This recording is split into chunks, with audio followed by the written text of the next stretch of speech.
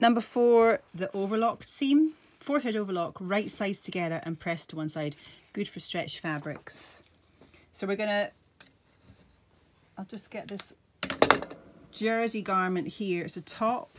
When you look inside, jersey garments, quite often the way they're made, they are run up on the overlock machine. Look, so it's just the overlock edge as your seam. Now, as long as your fabric isn't gonna isn't like too loosely woven, then you can overlock garments together. For speed, could be used in factories for mass production. For cheapness, this particular thread here is a four thread, gives a little bit more bite and it will last in garments, especially stretch garments, it's perfect. So what you're gonna do is take two pieces of your calico and you're literally on the overlocker going to sew the two pieces together and that is it and press it to one side to demonstrate an overlocked seam.